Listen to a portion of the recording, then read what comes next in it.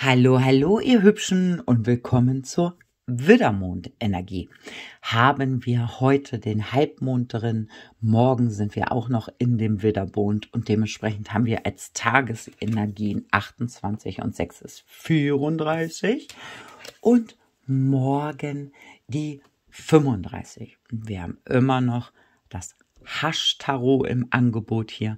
Geh in die Stille, ja, dann merkst du, wie sich Gefühle verändern und merkst du auch, ob du an dieser veränderten Gefühlslage, ja, ob du dich damit verankern willst, ob du daran festhalten willst oder ob das dann doch zur Klospülung gehört. Also das ist ja auch geil.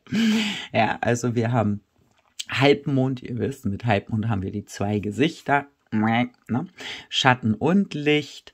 Ja, und wenn du jetzt in die Stille gehst, dann merkst du genau, was willst du aussortieren und was nicht. Ja, was soll hier weiter fließen und woran willst du festhalten? Ja, und was darf ähm, gerne äh, ja die Toilette runtergespült werden. Ne? Habt ihr in allen Bereichen. Ne? Das sind hier finanzielle Veränderungen, die einem zeigen, will ich an etwas Bestimmtes festhalten oder nicht. Ne? Das sind, also ist hier so die schwankende Finanzsituation, ja. Das sind Veränderungen im Gefühlsbereich, ne, die einem aufzeigen, will ich hier ähm, mich weiter verankern oder nicht. Es sind halt ähm, Gefühlsschwankungen, ja, die haben wir mit dem Halbmond sowieso immer. Ja, da haben wir immer das äh, Nein und das Ja, entweder als inneren Kritiker, ja, starke innere zweifelnde Diskussionen oder halt auch äh, im Außen. Ne? Es ist halt, dann hat man immer so eine gewisse äh, hier emotionale Schwankung, ja, da hat man so Gefühlsschwankungen, ne, ist ähm, emotional instabil, also launenhaft, ja. Ja.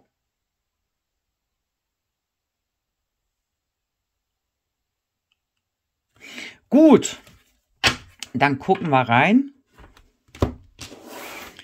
wissen wir schon mal, damit steigen wir ins Wochenende ein. Ich hoffe bei euch, die Diskussionen sind nicht allzu groß.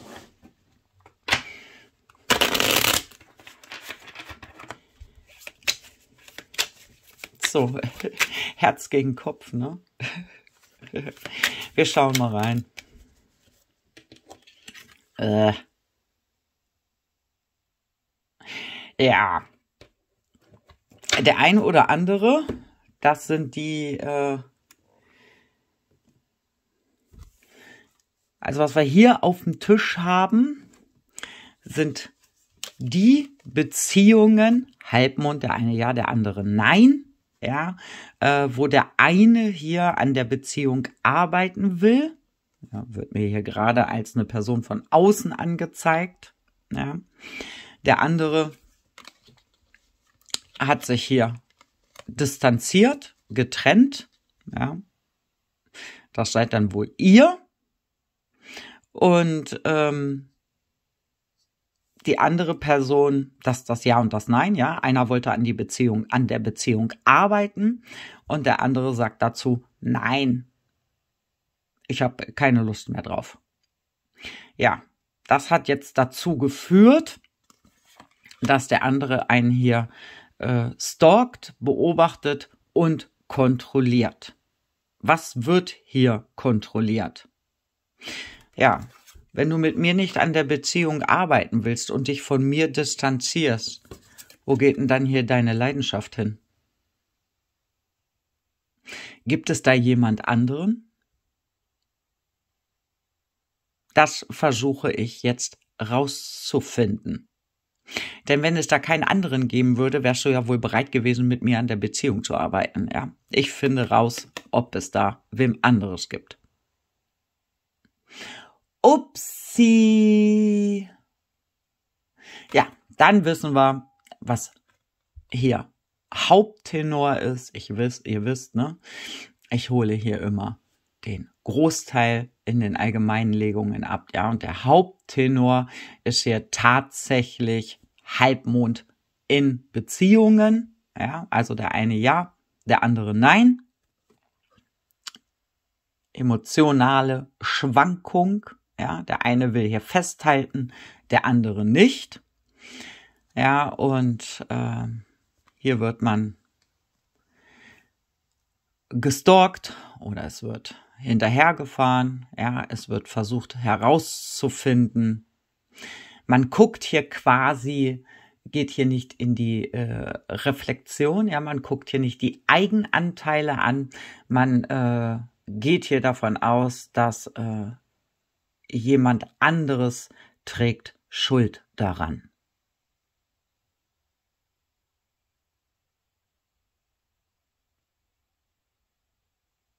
dass man hier halt eine Alternative hat, ja.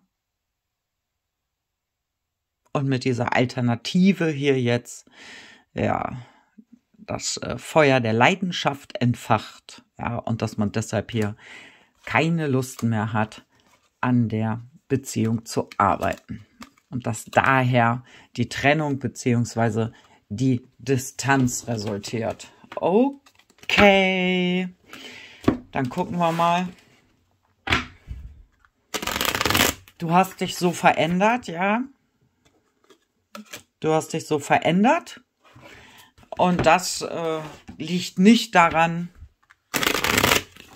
dass du irgendwie Zugang zu deinen Wünschen, Bedürfnissen und Sehnsüchten, hast, ne? Ja, 24. Sondern das liegt daran, dass es hier jemand Drittes gab, der da mit reinfuscht. Ja. Hier ist die gleiche Karte, ne? The World, das Internet, ja, World Wide Web und hier auch. Ich gucke im Internet nach dir. Ja, ihr Hübschen. Mir wird hier ein bestimmtes Schlagwort durchgegeben und das heißt äh, Standortmeldung. Achtet drauf, ja. Also wenn es tatsächlich eine innere Distanzierung ist und ihr mit dieser Beziehung noch nicht aufgeräumt habt und ihr euch in einer Affäre ausprobiert, ja, dann achtet auf eure Standortmeldung.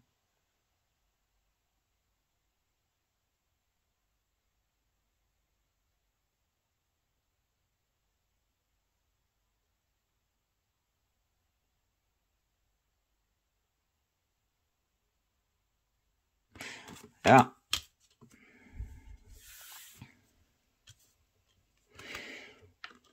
Vielleicht werdet ihr auch äh, andauernd angeschrieben wegen Kleinigkeiten. Ne? Der andere wissen will, ob ihr überhaupt antwortet. Ja, hier ganz genau. Ast der Schwerter.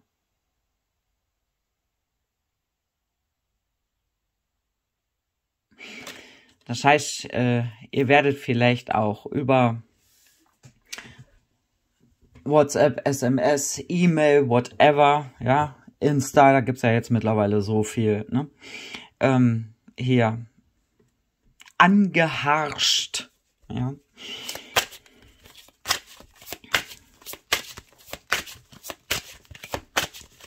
Hört vielleicht jemand nicht auf, euch mit Nachrichten zu bombardieren.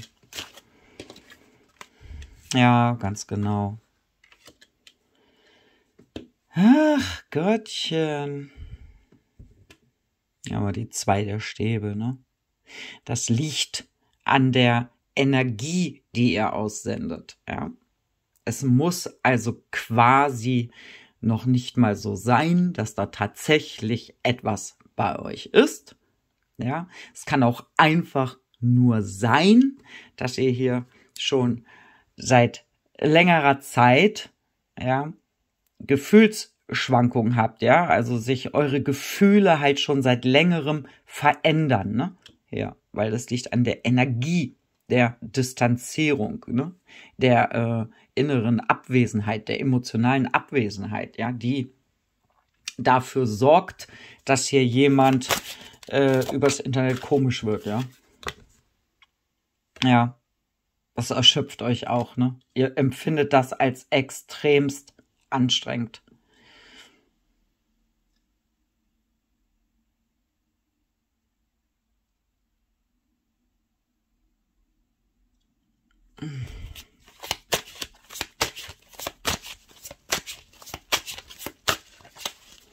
Das ist anstrengend für euch. Ja.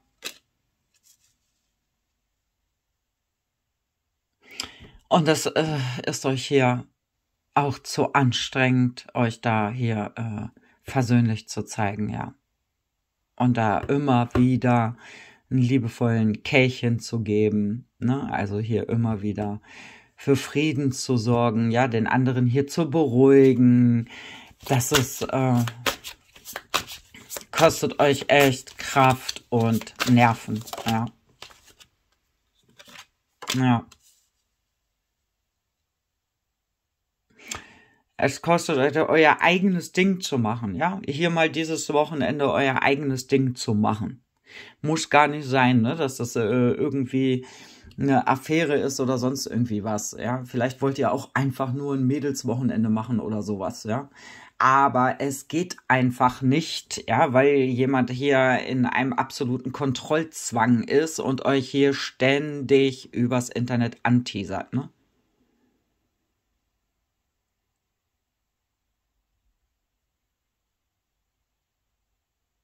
Das geht euch so auf die Nerven, ja? Geht euch hier total auf die Nüsse.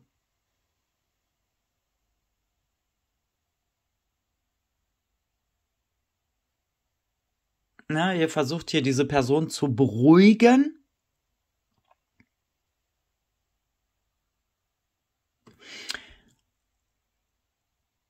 Aber das ist hier hart an der Grenze, ja.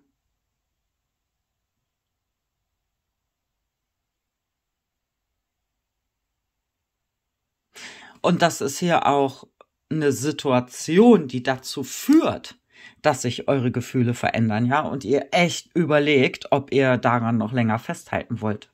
Weil das ähm, ist einfach viel zu anstrengend für euch, ja. Es ist viel zu anstrengend.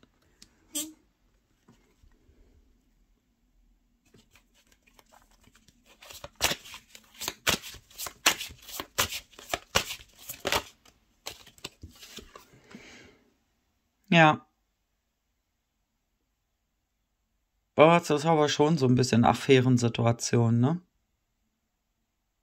Oder wenigstens etwas, ja, wo ihr eurer Leidenschaft hier mal wieder folgt, ja, und ihr deshalb dann halt mal ein Wochenende getrennt seid, ja, eurer Leidenschaft in welcher Form auch immer, ne? Bei dem einen ist es einfach nur ein Angelwochenende und der muss ja alle zehn Minuten antworten. ja, findet hier einfach keine Ruhe. Ne? Bei dem nächsten ist es ein Mädels- oder Männerwochenende, ja, und wird hier alle zehn Minuten angeteasert und findet keine Ruhe. Und wieder bei dem nächsten ist es hier tatsächlich eine Affäre. Ne?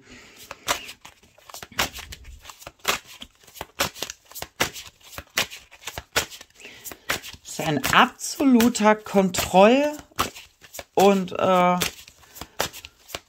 Stalking-Energie. Ja. Er ist ja total an euren Nerven, ja.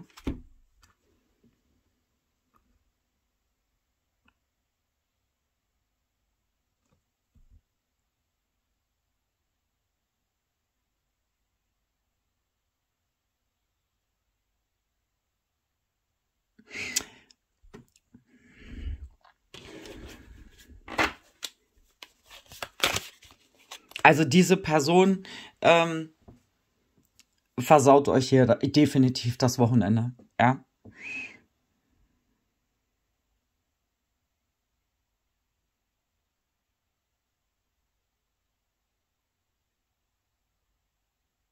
Also dieses ständige und andauernde Angeteaser, ähm,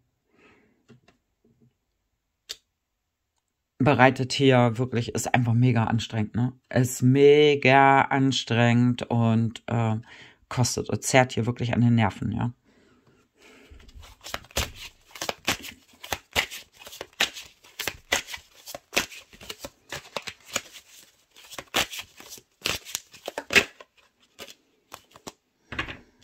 Ja.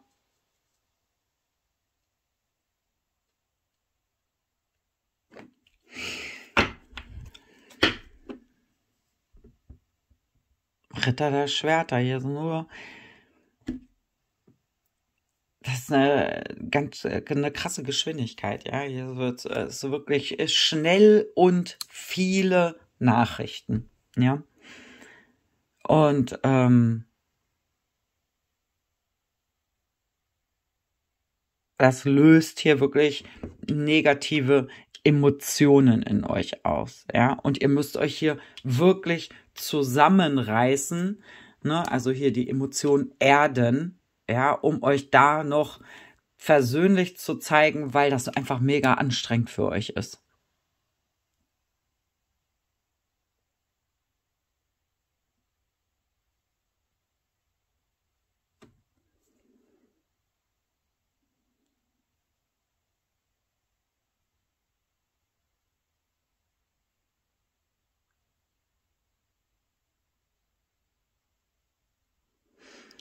Oh mein Gott.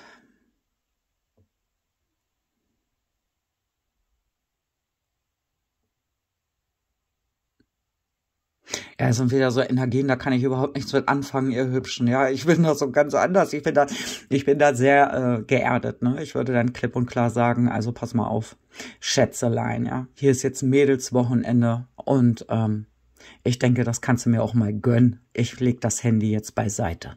Punkt. ja, dann würde ich dieses Wochenende das Handy nicht mehr vorholen, ne? Weil da, äh, nee. Da hätte ich ja gar keine Böcke drauf.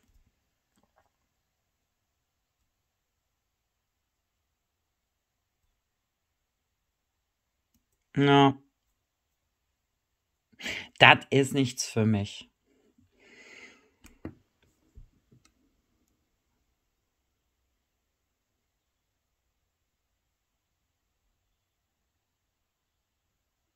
Aber hier ist so angezeigt, ihr macht das, ne? Ihr äh, versucht diese Person hier zu beruhigen, ne, bei Laune zu halten, aber es ist einfach mega anstrengend und belastend für euch, ne? Ihr macht so, um, ganz ruhig, Brauner, ja. Oh mein Gott, braucht diese Person hier viel Zuwendung? Was stimmt denn hier nicht?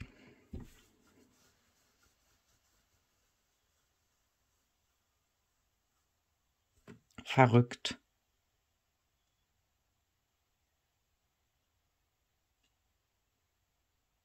Es sei denn natürlich, ja, dass es tatsächlich eine Affäre ist, ihr Hübschen, ja. Also dann mh, hm, braucht diese Person einfach einen Tisch, ja. Und dann drücken die Energien hier auch rein, reinen Tisch zu machen, ja. Weil nämlich dann dieses, äh, dieser Spagat hier einfach viel zu anstrengend ist. Hm.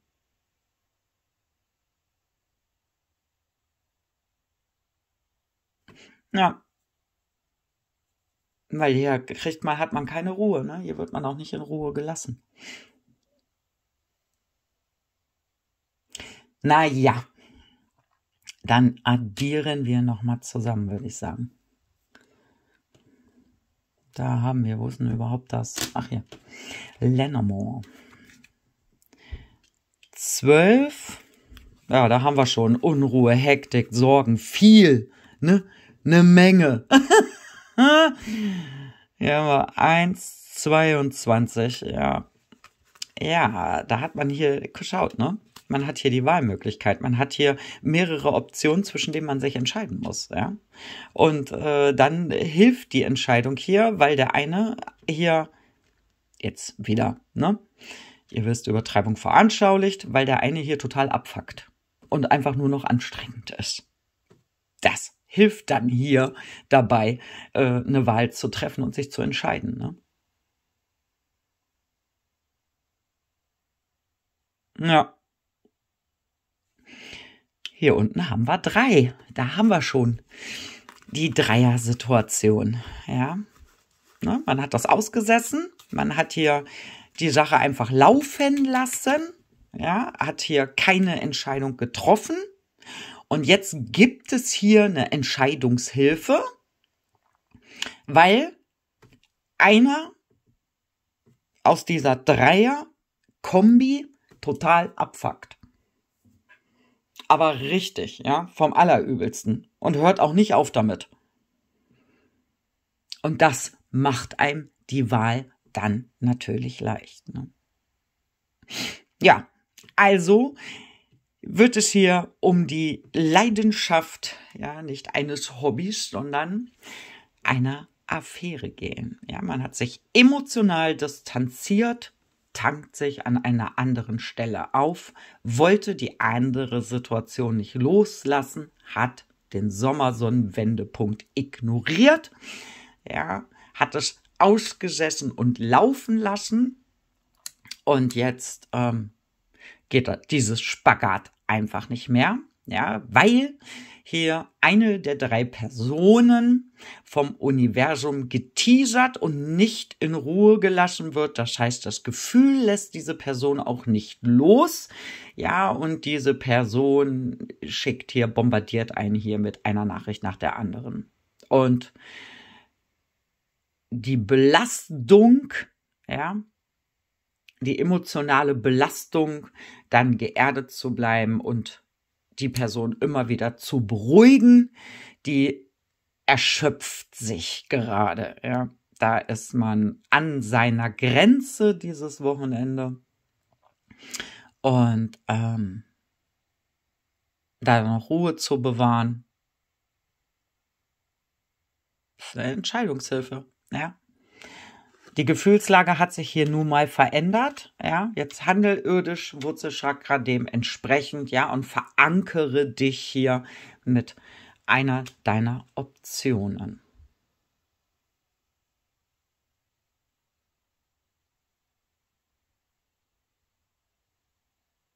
Ja, wie nenne ich ihn jetzt das Orakel? Affären kosten den letzten Nerv? Na, mal gucken. Lasse ich jetzt gleich mal fließen. 22, 23 schließlich das Orakel, ne? 22, 23, ja, eine, ein Weg, ja, löst sich jetzt auf, ne? Eine Option fällt jetzt weg, weil sie hier einfach äh, viel zu anstrengend wird. Und sich auch gar nicht beruhigen lässt, ne?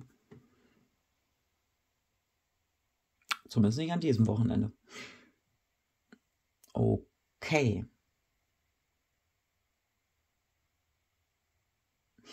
Dann würde ich sagen, entlasse ich euch mal. Wenn was ist, wisst ihr ja auch, wo ihr mich findet. Bis dann. So.